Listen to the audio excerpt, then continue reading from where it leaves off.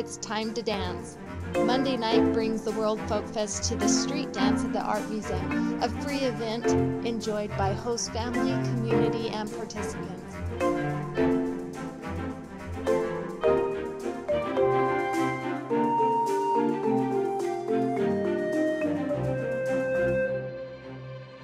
A unique event where everyone is welcome and the world is truly at peace.